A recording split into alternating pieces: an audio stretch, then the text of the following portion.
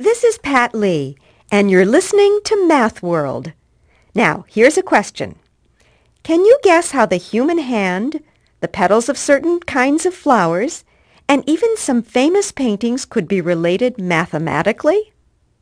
Well, if you have no idea, our question of the day from listener Lucy Warwick in Rhode Island will help you. Ms. Warwick asks, I've heard a lot about the Fibonacci sequence lately. What exactly is it? For an answer, we contacted Professor of Mathematics, Dr. James Quist. Hello, Dr. Quist. Can you tell us a little about the Fibonacci sequence to answer Ms. Warwick's question? Well, that's a great question, especially since the sequence is around us in so many forms, and many people have no idea about it. It's really very intriguing once you're aware of it. First, what the sequence is. It's a series of numbers, and in the sequence, each number is the sum of the preceding two numbers.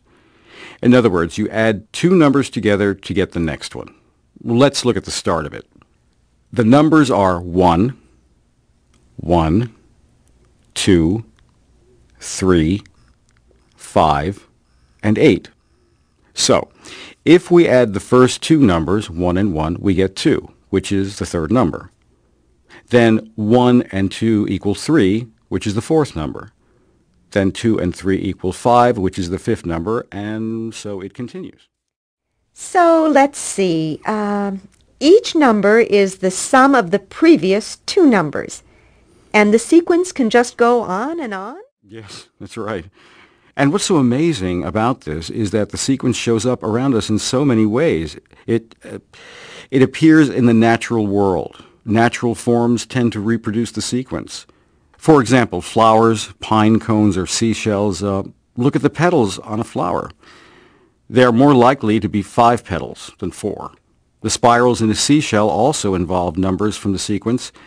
It's not as easy to see as with flowers, but the measurements of the spiral are numbers of the sequence.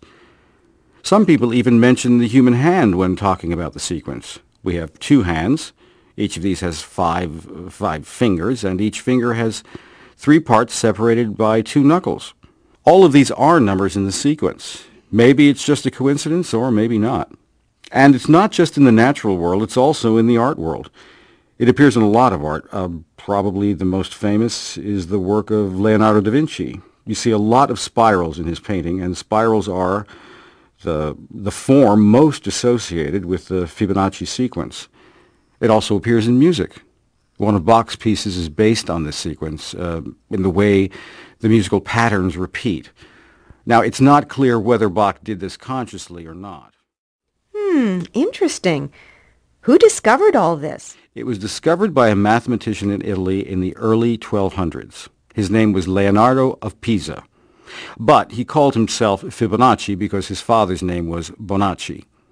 Anyway, he was an extraordinary mathematician. He actually introduced the decimal system to other mathematicians of the time. So mathematicians have known about the sequence for a long time. Yes.